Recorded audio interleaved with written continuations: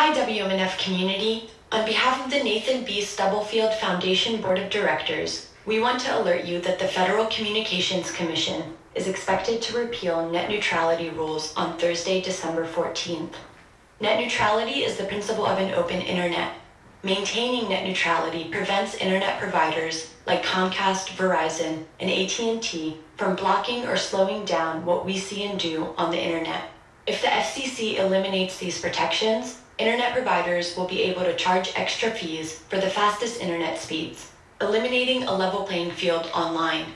But it's not too late to save the internet as we know it.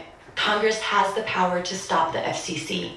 Battleforthenet.com makes it easy to contact your lawmakers and demand they stop this.